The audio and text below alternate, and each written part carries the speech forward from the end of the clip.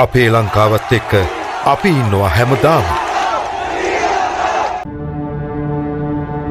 දිගින් මීටර එකසිය පහළවක් වන පේ හයසිය විසි හත නෞකාව අද පෙරවරුවේ කොළඹ වරායට සේඳ වුණා. ශ්‍රී ලංකා නාවික හමුදා ඉතිහාසේ නාවික හමුදා නෞකාවක් යාත්‍රා කළ වැඩිම දුර සටහන් කරමින් පී හයසිය විසි හත ගැඹුරු මුහුදු ආවේක්ෂණ නෞකාව මේ ආකාරයෙන් අද උදෑසන කොළඹ වරායට සේන්දු වුණා.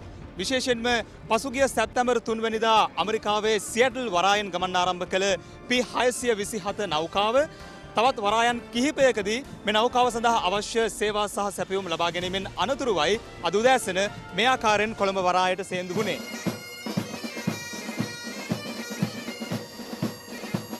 ශ්‍රී ලංකා නාවික හමුදාව මේ නෞකාව නිල වශයෙන් භාරගත්තේ පසුගිය වසරේ ඔක්තෝබර් විසි හයවැනිදා අමරිකාවේ වොෂින්ටන්හි සියටල් වරායේදී.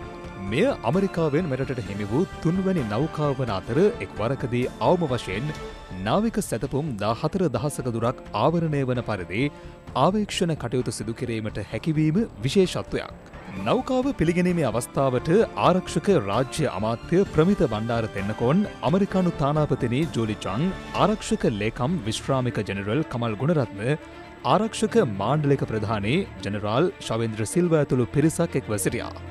පී හයසිය විසි හත ගැඹුරු මුහුදු ආවේක්ෂණ නෞකාවේ අනදර නිලධහරේ කපිතාන් ලංකා දිසානායක මහතා විසින් ආරාධිත පිරිස නෞකාව වෙත කැඳවාගෙන ගියා.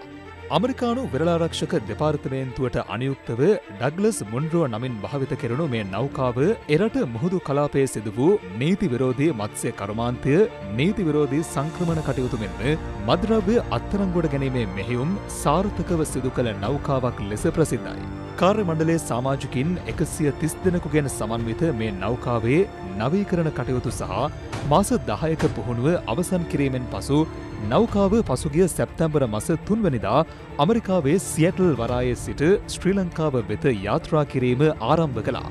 එම නාවික ගමන අතරතුර අමරිකාවේ හවාහි හොනොලුලු අමරිකාවේ ගුවම්හි අප්‍රා පිලිපීනේ මැනිලා සහ සිංගප්පුරුවේ චැංගි වරායන් වෙත යාත්‍රා කර නෞකාවට අවශ්‍ය සැපයුම් සහ සේවාද ලබාගත්තා. පී හයසිය විසි හත නෞකාව නොදුරු දිනකදී නව නමකින් ශ්‍රී ලංකා මුහුදේ රාජකාරය සඳහා යෙදවරු ඇති.